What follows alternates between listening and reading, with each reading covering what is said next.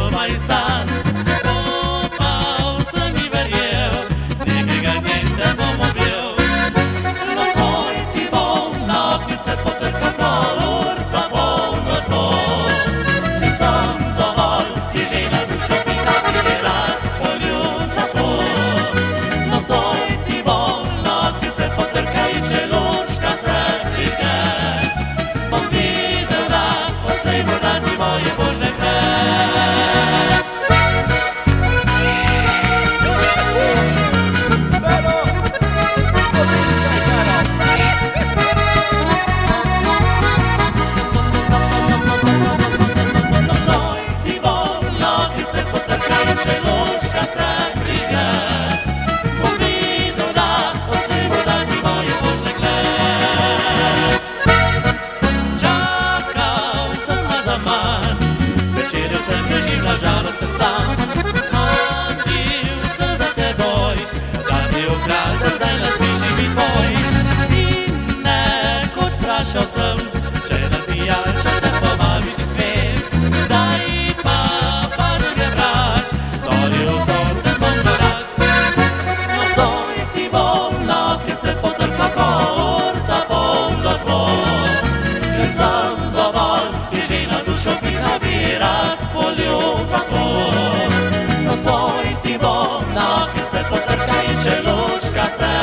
Yeah.